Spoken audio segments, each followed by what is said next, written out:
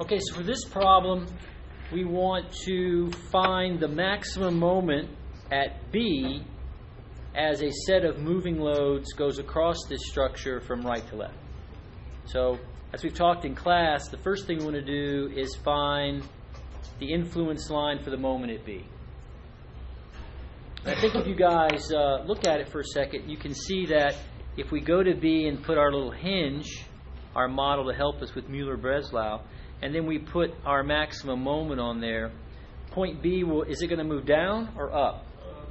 So it'll move up, and then of course it will link and hinge back.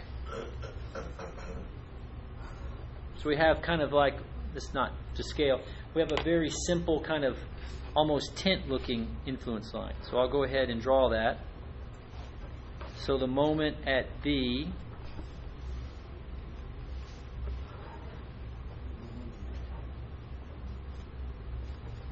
So it looks something like this. So we just need one value. So how do I find that one value? Well, I'll go back and look at the structure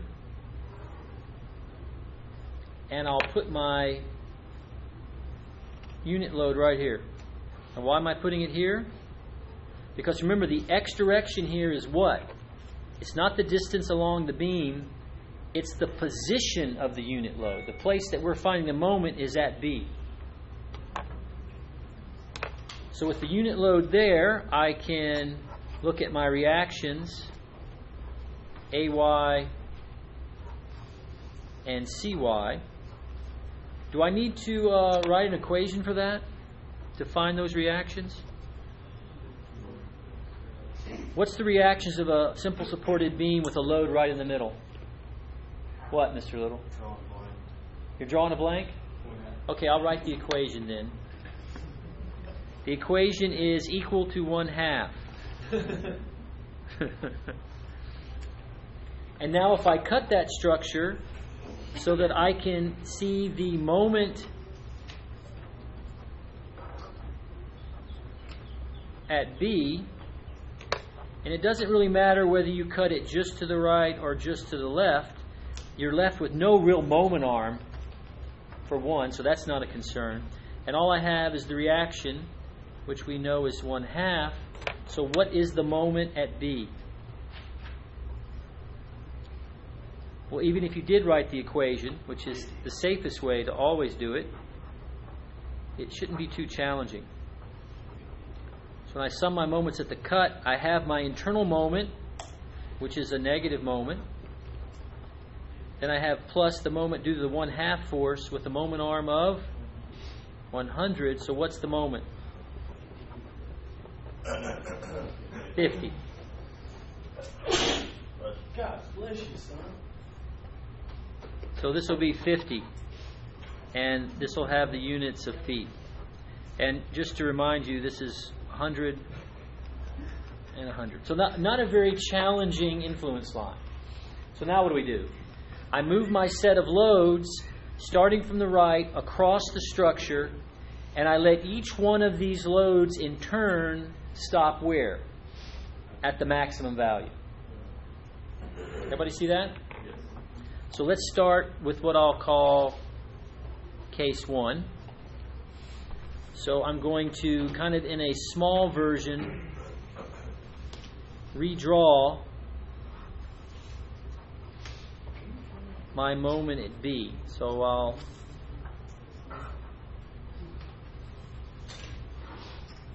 So there it is. And moving from the right, I'm going to stop my first load 4 right here.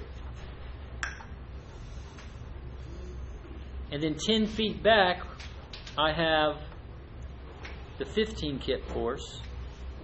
And another 20 feet back, I have the second 15 kip force.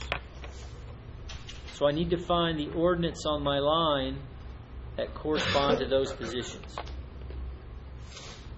Now the first one is easy, it's 50, right? What's the slope of my influence line? It's 50 to 100, which is really 1 to 2. Or for every foot I go this way, I drop what? One half. So if I go 10 feet, that means I drop 5, so this should be 45. I go another 20 feet, I should drop 10, so this should be 35. Everybody see that? So now the first case, then, the moment at B, I'll call it 1, will then be 4 kips times 50 feet plus 15 kips times 45 feet plus 15 kips times 35 feet. So what's that equal to? Calculators, calculators, calculators. Anybody? 1400? Can I get a verification? So that's 1400 kip feet. All right, case two. So I'll redraw my influence line.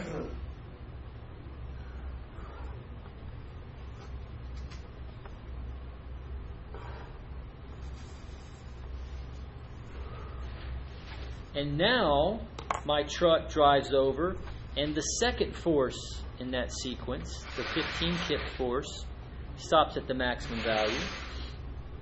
That means 10 feet in front, I have my 4 kip force, and 20 feet behind, I have the last force, which is also 15 kips.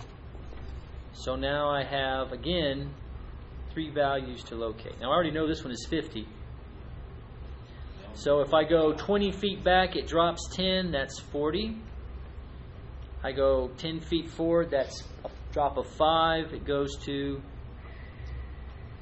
45. So what is the moment at B for case 2? Somebody can go ahead and crank up their uh, calculator. So it's 4 times 45. Oh, you're already there. Too early. 15 kips times 50 plus 15 kips times 40. So what's that? 15 30? Anybody else have that? Yes. Excellent. So we've got one more try. So this will be case three.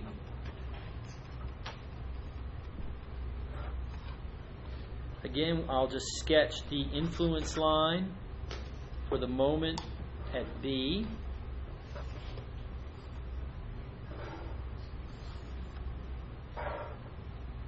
And now we'll look at our truck, again moving from right to left. Now the rear 15 kip force is there.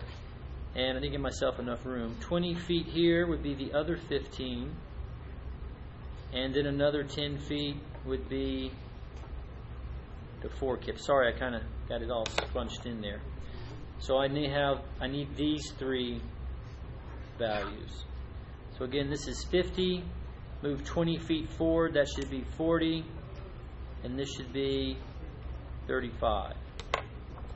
So now the moment at B for case 3. Start at the front. I have 4 kips times 35 feet plus 15 kips times 40 feet plus 15 kips times 50 feet. That might be the biggest one, huh? Oh, not quite. 1490. So what's the maximum? Case two. Case 2 is the winner. Case two won last. Well, let's not read a pattern in that case 2 always is the winner. So, any questions about that? This is a very good test problem. Did you guys hear that? This is a very good, repeat after me, test problem. Oh, And with that, Mr. Fisher takes a picture. All right.